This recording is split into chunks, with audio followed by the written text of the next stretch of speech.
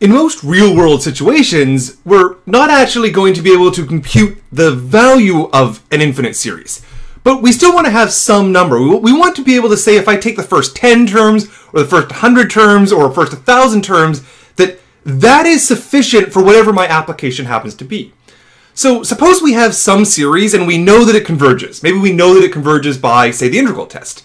We want to know how many terms do I have to include until I have whatever the level of accuracy that I might be demanded by my application.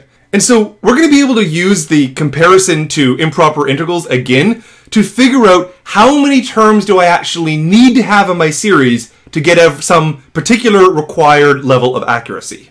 And indeed, it was worthwhile noting that while we could get an improper integral and we could figure out the value of that improper integral, the value of the improper integral was not the same thing as the sum of the series. The one converged if the other converged, but they didn't necessarily converge to the same value. So let's introduce some notation. We've previously seen that Sn was our standard notation for the partial sums, and it represented a1 plus a2 plus plus plus all the way down to an. What I'm going to define now is something new, and I'm going to call it the remainder. I'm going to use capital R sub n. And what it is, is all of the rest of the terms. It, it's everything beyond the partial sum of Sn. In other words, it's the a n plus 1 plus a n plus 2, and then so on. So while the partial sum is a finite sum from 1 all the way up to n, the remainder is all the other things from n plus 1 all the way up to infinity. And so the way this might work is, suppose I, I want to compute the value of a series, I might compute a value like S100 or S1000 or S1 million. And then I want to know, that's not the whole series, I also have this sort of infinite tail, but I want to figure out what Rn is. I, I want to figure out how bad is the remainder, how bad is this infinite tail. So I'm going to try to represent this as I did with the integral test. In other words, I'm going to give myself some axes. I'm going to give some function that's coming down here. This is the function f of x. And I'm imagining that has the, the property that f evaluated at n is just going to be equal to all the different ans. I might have, for example, at some point, like this one, I'll call that n. And then if I think about what Rn is, it's an plus 1 plus an plus 2 and so on. It is the sum of all of these points here. There's the an plus 1, the an plus 2, and so on down the line. And then if I think about a sum of numbers, this is the same thing as a sum of the areas of rectangles, where the areas of the rectangles are going to have width 1 and then height whatever the corresponding numbers are. In other words, I can give a sort of right approximation here. This right approximation that I'm drawing for the area under the curve is the same thing as my remainder. So in other words, this part under here, these areas of the rectangles, this is going to be my Rn. And then what I can observe is that because my function is positive, it is decreasing and it is continuous, this right approximation that I've done, the, the sum of these rectangles, in other words, the, the remainder, this is strictly less than the area under the curve. So this Rn that I've computed, whatever the value is, it is less than the integral from n up to infinity of f of x dx. In other words, I've been able to give myself a bound on this remainder term it is less than some particular improper integral that starts at the value of n. I'm going to repeat this story again. I'm going to have n down on the bottom, and I'm also going to put in n plus 1 here. Because if I plug in all of my points, this is my remainder, the n plus a n plus 1, the a n plus 2, and so on down the line, this time, instead of using a right approximation, I'm going to use a left approximation. So that means that my rectangle is going to look like this. It's going to look like this. It's going to look like this, and so on down the line. And this particular area that I have here, it is also going to be Rn. Indeed, it's just a sum of rectangles of width 1 and height, the an plus 1, the an plus 2, and so on. But the difference is, now this is a left approximation for the integral not from n to infinity, from n plus 1 to infinity.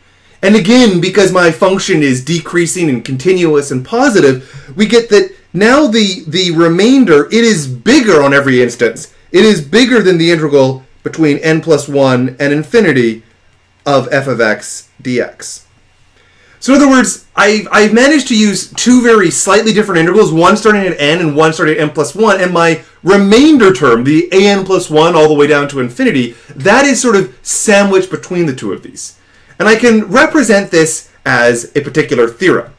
I am going to say that in this scenario, my Rn is indeed bounded by these improper integrals when my function is a continuous, positive, and decreasing function. And you get an analysis result if you have a continuous, negative, and increasing function. Now, the main way that we're actually going to use this is, is actually the right-hand side. Uh, because what we really want to do is we want to have our remainder be well controlled. We want it to be not that large of a value. So what I can do is figure out how big this right integral is. I can figure out how big the integral from n to infinity is. And then as long as that number is something small, whatever my accuracy needs to be based on my application that I'm doing, then if I demand that level of accuracy, it's going to tell me the n I need to use, and my remainder is always going to be less than that required level of accuracy. Okay, so let's see an example of how this actually applies. So here I have a specific example. I've got the sum of 3 divided by n to the power of 4. And I want to be able to estimate what that sum is. I don't know what it is exactly, but I want to estimate it to within 0.001 of whatever its true value is. That is to say, I want the remainder term, Rn here, to be less than or equal to the 0.01. And I don't even know what n is yet. That's something we're going to have to figure out. But what I do know is that I can compare the Rn to the integral from n up to infinity of 3 divided by x to the power of 4 dx. I can compare it to an improper integral. And I know how to evaluate improper integrals, so I can just do that.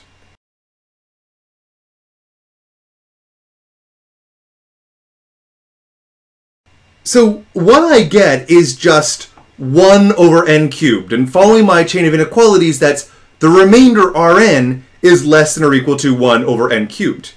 And what I claim that I want this to be equal to is 0.001. That's what I want. I want my remainder, this guy all the way on the left, be less than or equal to 0.01, which is the same thing as 1 over 1,000. And that tells me that n has to be equal to the number 10. So now I know that if I take 10 terms, then if I take that sum, the sum of just the first tens, then it is within 0.001 of whatever the true value is. Now, it's actually just a pain, just from a calculator perspective, to go and compute what the sum of 10 different things are going to be, but I can use, say, Wolfram Alpha to be able to do this. So this is Wolfram Alpha, which is just a really powerful tool, and uh, you can do all sorts of different things, like, for example, integrals, but I'm going to do a sum, and I'm going to do the sum from 1 to 10 of 3 divided by n to the power of 4, which was the sum that I was going to do and it goes away and computes it for me. It tells me that the value of this thing is equal to 3.24. So in other words, 3.246 is within 0.001 of being the value of this series.